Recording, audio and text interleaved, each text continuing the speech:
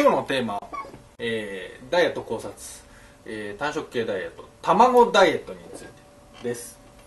えー、卵ダイエット。これ知らない人も多いと思いますが昔々もうどうだろう20年。いやいやもっとかな。30年ぐらい前に流行ったんですね。えー、ゆで卵を食べる。ゆで卵だけを食えと。で卵っていうのはタンパク質ですからうん。で他のものは取らない。でタンパク質は栄養にすぐ変わりエネルギーにすぐ変わりますから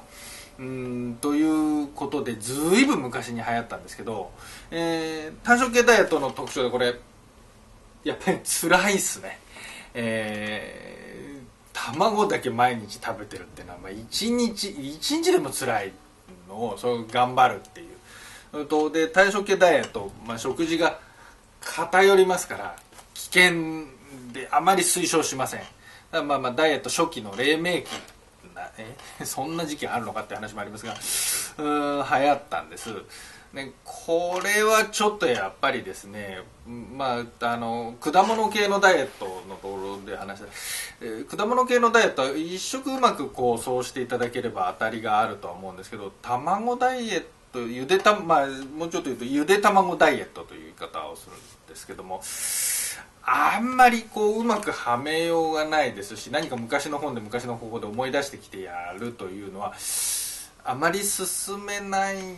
し今進む流行らないし、まあ、大丈夫だとは思うんですけども、まあ、昔はそういういろいろちょっと変わったものも流行ったよということですね。あんまり単食系のダイエット一つの一つの食事をず1週間、まあ、ずっとってのは一生ではなくて1週間ぐらいのことなんですけれどもっていうのは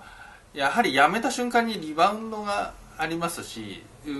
毒を出すという考え方でこう体の中の毒素を出しましょうという考え方で、えー始まっている部分が多いんですけれども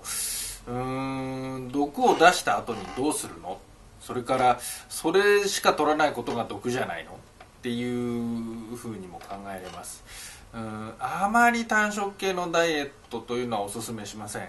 うん果物系だとうまく代用できるんですがこの卵ダイエットは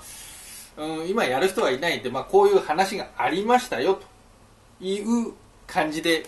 うん、おすすめしません。単食系ダイエットの一番かなっていうふうに思います。う